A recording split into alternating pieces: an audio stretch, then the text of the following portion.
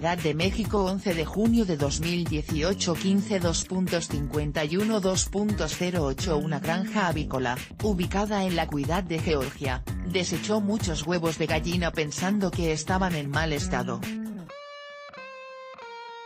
Los restos de comida, los desechables y el calor hicieron que el basurero se convirtiera en una incubadora para que los pollitos terminaran de formarse.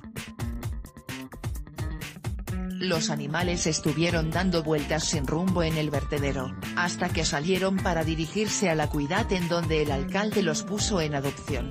Infoa.